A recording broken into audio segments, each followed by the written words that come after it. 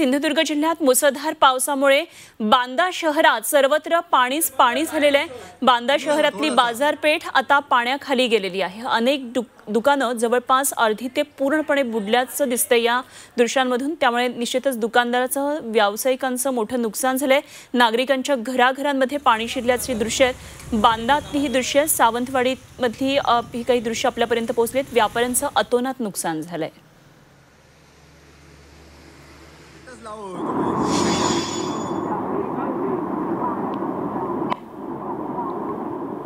तर मुसळधार पावसानं सातारा जिल्ह्यालाही झोडपून काढले. अंत्यसंस्कारासाठी आलेल्या लोकांना पावसाचा मोठा फटका बसला साताऱ्यातल्या शेळकवाडी इथं स्मशानभूमीत मृतदेह जळत असतानाच पुराचं पाणी आलं आणि त्यामुळे नातेवाईकांना मृतदेह बाहेर काढून मग अंत्यसंस्कार करावे लागले.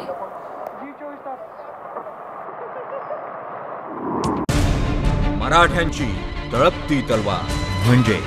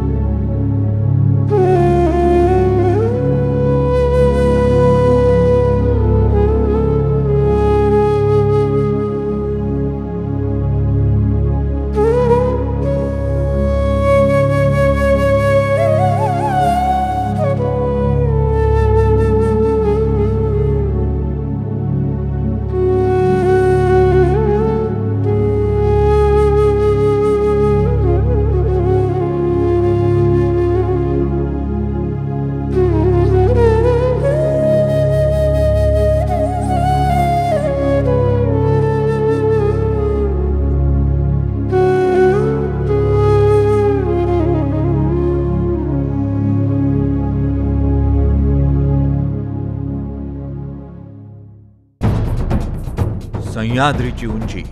म्हणजे?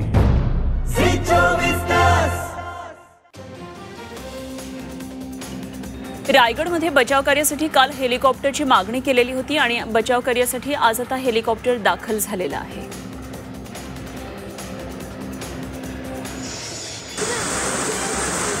सावित्री नदीनं रायगडमध्ये रौद्र रूप धारण केलंय आणि त्याची ही काही दृश्य आहेत.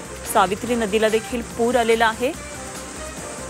कोकणातून वाहणारी महत्त्वाची नदी असलेली सावित्री नदी. सावित्रीचं पात्र मोठं आहे मात्र किती भयानक पद्धतीनं हा प्रवाह वाहतोय पहा. मुसळधार पाऊस या संपूर्ण परिसरामध्ये आणि सावित्री नदीनं हे रौद्र रूप धारण केलंय.